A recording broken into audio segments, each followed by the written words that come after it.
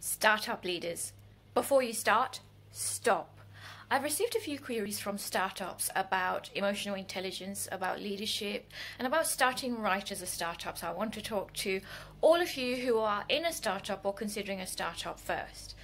The reason I said stop before you go into anything related to building a team is because you want to recruit the right way, you want to recruit for the right culture that you're aiming for, and you want to recruit based on your values. Now, how do you do that? I know it's really difficult for a small business or a startup to do that as you begin.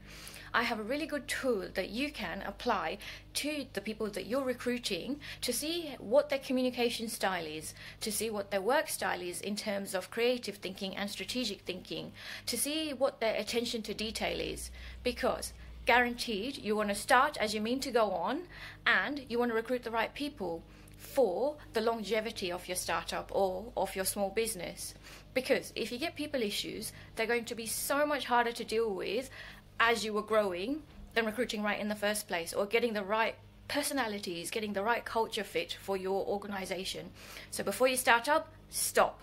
Reach out to me, drop me a message or direct message me, and I can share more with you. Ciao for now.